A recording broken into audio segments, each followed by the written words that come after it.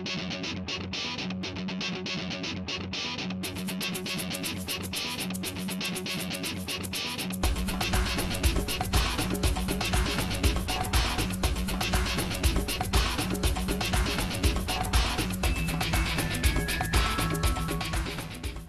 everybody. I'm Bruce Kyle.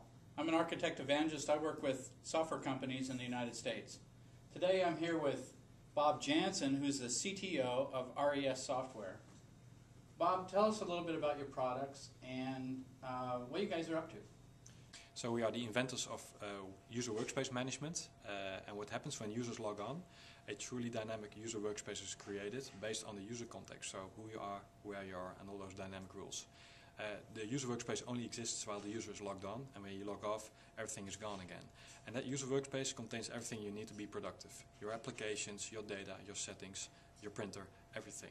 It's all context based and our product is geared towards IT administrators and IT architects to create truly dynamic user workspaces using the latest IT delivery uh, infrastructures. So, uh, why did you go on Windows 7? What was, what was the thought process behind that? Uh, so we found out that uh, a lot of end users really like Windows 7. Uh, it looks nice, it's, it's smooth, it's, it's performing great, great uh, added features.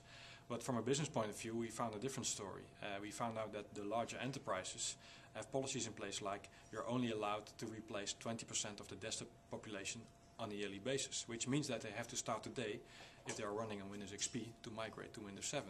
And we have to help them in that effort. And so, what features have you added to your product to help out with that migration to give them the real Windows 7 experience? So uh, we, we support all the Windows 7 uh, features from a manageability point of view, so including the jump lists uh, and also the pin to taskbar.